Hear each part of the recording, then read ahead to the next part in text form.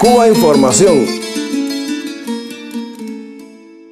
No me digan más mentiroso, no me digan más. No me digan más.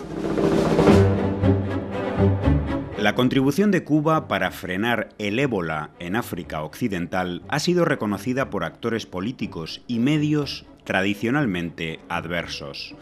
Hasta el secretario de Estado de Estados Unidos, John Kerry, elogió a Cuba por el mayor envío de cooperantes médicos a la región.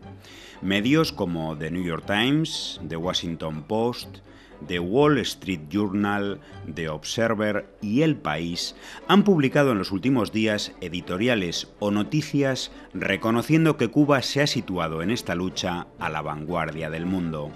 Antes ya lo habían hecho los máximos responsables de la ONU, Ban Ki-moon, secretario general, o Margaret Chan, directora de la Organización Mundial de la Salud, que colocaban a Cuba como el ejemplo que necesita el mundo. Por ello, resulta chocante escuchar en el programa Informe Semanal de Televisión Española lo siguiente. La lucha contra el foco del ébola en África, a excepción del contingente enviado por Estados Unidos, permanece como el capítulo olvidado por Occidente.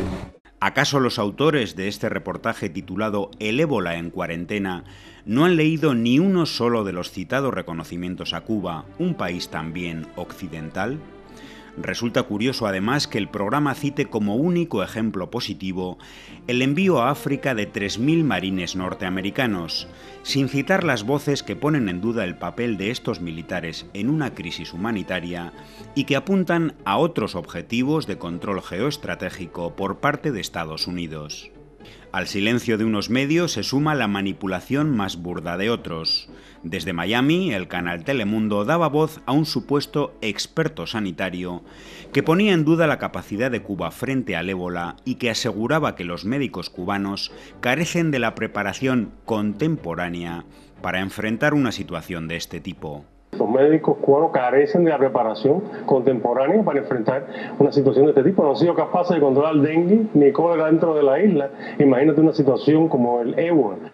El experto sanitario era, como no, Julio César Alfonso, presidente de una organización que coordina junto al gobierno de Estados Unidos la captación por todo el mundo de médicos cubanos cooperantes que desean acogerse al asilo político.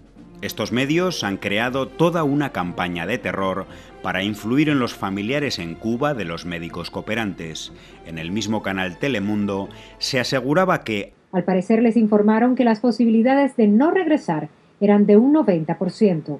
Esto es típico de Cuba, que es el gobierno cubano se cree dueño. A los que sí consigan regresar a Cuba, aparentemente el gobierno les ha prometido una casa y un auto. Conclusión. Al parecer, y, según informes, nos encontramos ante un nuevo invento para tratar de ensuciar el reconocimiento internacional casi unánime a Cuba. También leemos otros disparates basados en reportes sin confirmar o en supuestas fuentes conocedoras del tema que nunca son mencionadas, como que el personal médico recibirá altos salarios de hasta 10.000 dólares o que existiría un seguro médico de la OMS pero cuyo beneficiario no serían los médicos, sino el propio Estado cubano.